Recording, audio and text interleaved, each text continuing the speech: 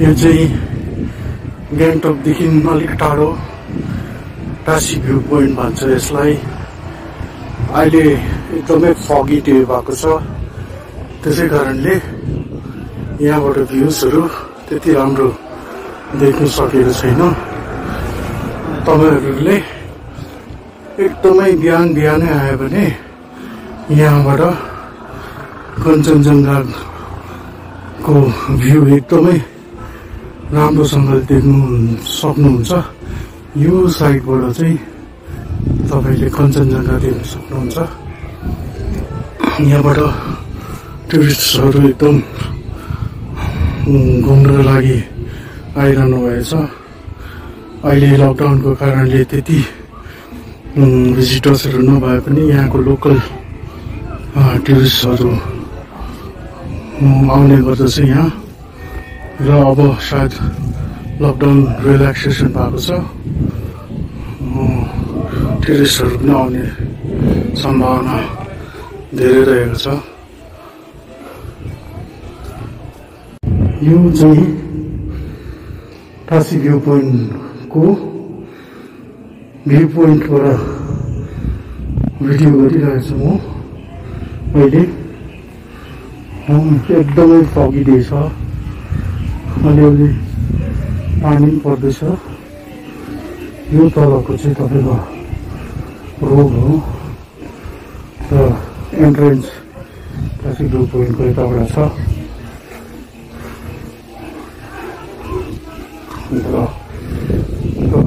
सक्नुहुन्छ जो जो पनि यहाँ घुम्न आउने गर्छ। उहाँहरूले अर्ली इन द मर्निङ आउनु भए यहाँबाट सनराइज एकदम देख्नुहुन्छ।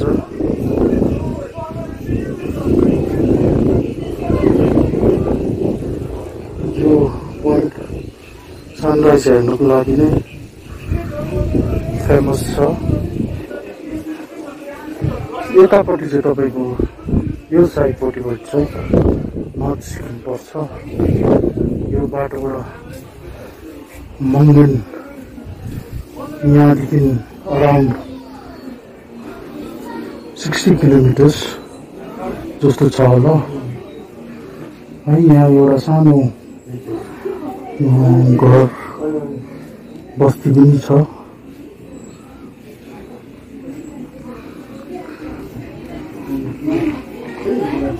यहाँ टासी भ्यू पोइन्टमा एउटा हाम्रो लोकल प्रडक्ट्सको सप पनि छ जहाँनिर हाम्रो यहाँ सिक्किमको धेरैवटा सामानहरू पाउने गर्छ।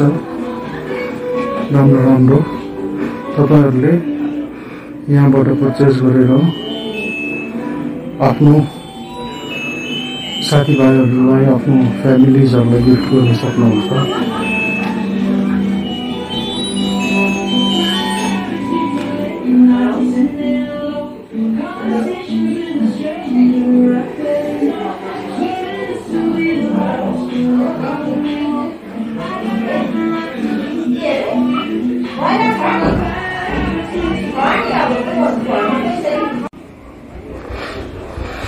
र अब हामी यहाँ टासी भ्यू पोइन्टदेखि गणेश टकको तर्फ लागिरहेको छौँ। गणेश टक पुगेपछि हामी तपाईँहरूलाई फेरि त्यहाँको भ्यूहरू देखाउने गर्ने देखाउनेछौँ।